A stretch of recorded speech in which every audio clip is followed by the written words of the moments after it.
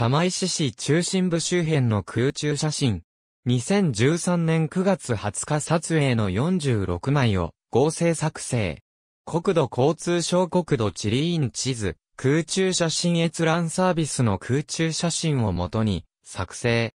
釜石製鉄所釜石市の町並み釜石市は、岩手県南東部、三陸復興国立公園の中心に位置し、世界三大魚場の一つ、北西太平洋魚場の一角をなす三陸魚場と、典型的なリアス式海岸を持つ市である。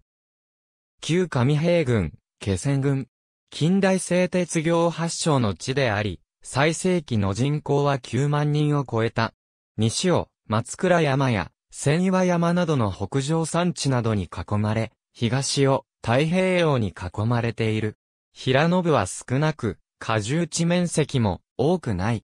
夏は山瀬の影響を受けるが、フェーン現象によって温められた風が北上高地から吹き下ろすことにより、県内で最も高い気温を記録することがある。現象となった2015年の7月から8月上旬には、東北北部としては珍しく、摂氏38度を超える気温を2回観測した。釜石鉱山、田中製鉄所古くは、三陸地方の小さな漁村であったが、幕末に森岡藩士の大島高遠が日本初の商用航路を成功させたのを講師として、明治政府により日本初の官営製鉄所が設置された日本の近代製鉄発祥の地となる。また、釜石港で日本の海図の第1号が作成されている。太平洋戦争では米軍による釜石艦砲射撃により市街地が壊滅するも戦後に復興し、日本がオリンピック景気で建設需要の高まった最盛期には人口が9万人を超えるなど東北有数の重工業都市となった。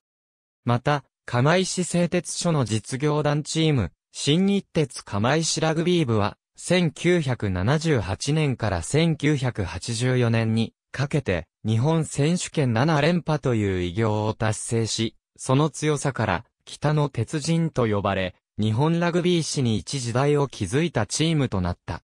東日本大震災で津波によって被害を受けた釜石市の様子東日本大震災における友達作戦でプレブル航空隊員から暖房用の軽油を提供される、釜石市消防団イオンタウン釜石1937年の市政施行を記念し、河北新報社の事業で作成された。2011年3月まで旧、釜石市民文化会館が存在した。同館は2011年の東日本大震災で、被災し2014年に解体された。旧市民文化会館では、自主文化事業として、市民手作りの舞台、釜石市民劇場が開催されていたが、震災以降2017年までは、シープラザユーを会場として継続していた。2018年12月に市民ホールがオープンし、釜石市民劇場は2019年2月から釜石市民ホールでの開催となる。ただし、自主文化事業ではなくなっている。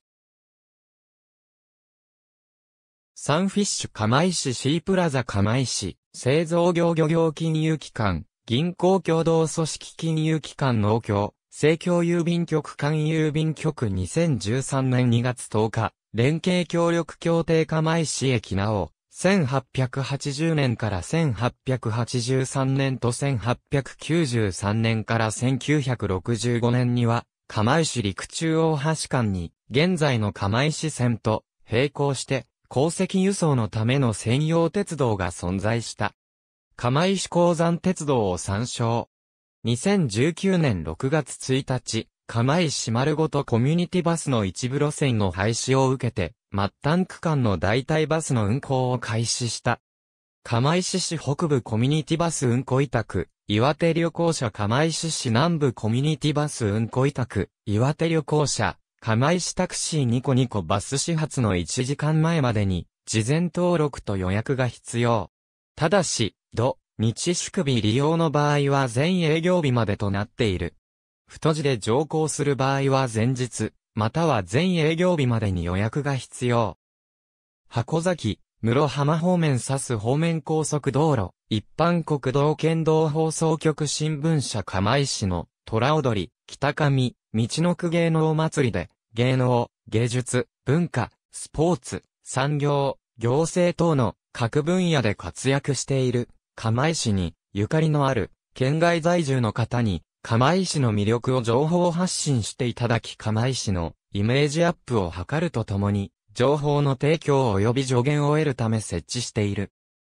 日頃の活動等を通じて、釜石の魅力を折に触れ PR していただくとともに、釜石の街づくりに役立つ情報の提供や姿勢に関する意見、提言等を行う。大使の活動のため、PR 用名詞や各種情報を提供します。また、年に1回程度、大使の方々との意見交換会等を開催する。釜石町に関するカテゴリー。ありがとうございます。